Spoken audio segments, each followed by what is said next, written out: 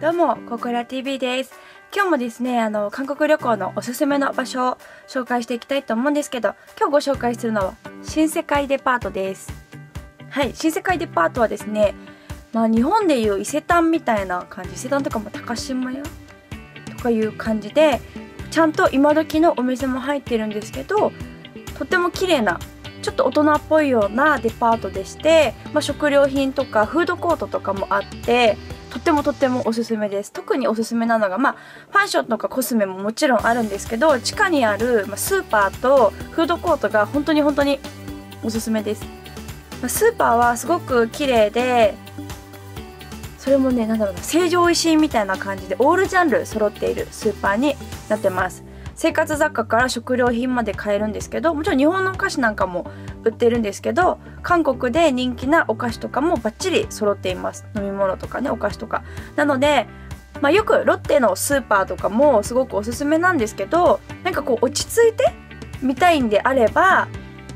その新世界のデパートのそのスーパーがとてもおすすめです。そしてフードコート。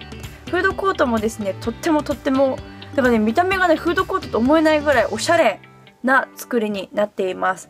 なんかお店ごとに分かれていて、まあ、韓国料理屋さんもあるしちょっとこう和食っぽいお店なんかもあるんですけど基本結構ね韓国っぽいご飯が多かったと思います。だからわざわざなんかこうお店行かなくてもその新世界のフードコートとかに行ったら韓国料理食べられるのでおすすめです。で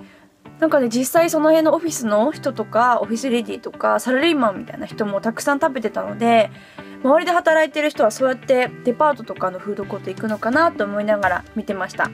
でもちろんケーキとかパンとかあとソフトクリームね紅茶のソフトクリームとかも店舗が入っているのでとってもおすすめです。個人的には日本ではあんまり食べられないレッドベルベットのカップケーキとかケーキがですね韓国ではたくさん売ってるのでその新世界のデパートでいろいろレッドベルベットのケーキを見に行くのも個人的には結構好きです。それで食べたりとかね。そのフードコートで食べたり。なんか現地っぽい感じなのででもこう大衆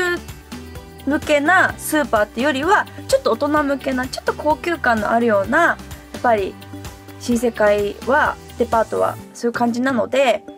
落ち着いてみたい人とかはとてもおすすめです。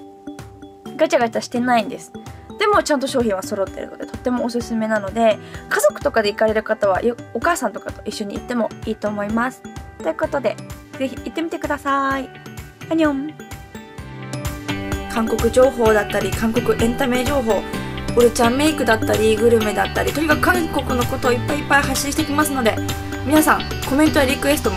どしどし募集しています。YouTube のコメント欄 Twitter なんかにも気軽にコメントしてください。そしてチャンネル登録もよろしくお願いします。